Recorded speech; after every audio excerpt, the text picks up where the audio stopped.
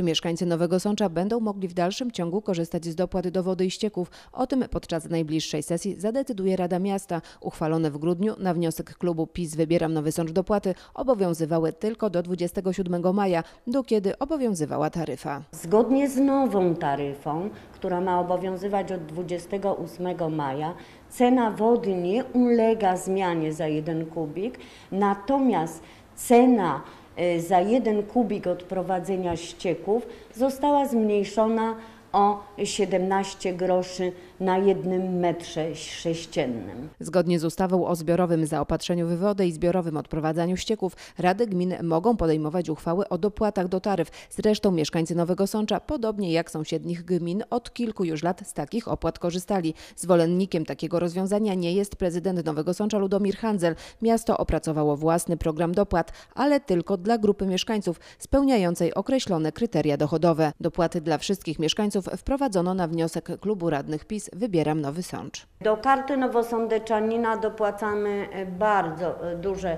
e, kwoty, wobec powyższego, i z której to nie wszyscy mieszkańcy miasta Nowego Sącza korzystają.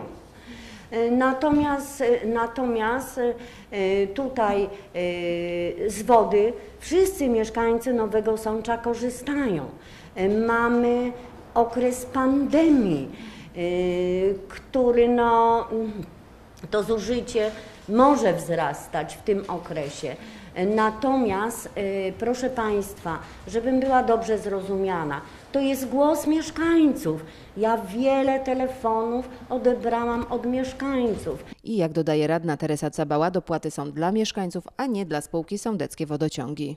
To, że ustawodawca faktycznie zapisał w ustawie o zbiorowym zaopatrzeniu w wodę i odprowadzeniu ścieków, że to jest przekazywane do przedsiębiorstwa wodno-kanalizacyjnego, ale przedsiębiorstwo wodno-kanalizacyjne o to 2 złote 3 grosze czy o kwotę 2 zł 66 groszy zmniejsza opłatę za 1 metr sześcienny dostarczonej wody y, czy odprowadzonych ścieków. To jest na tej zasadzie, ale to jest dla mieszkańców.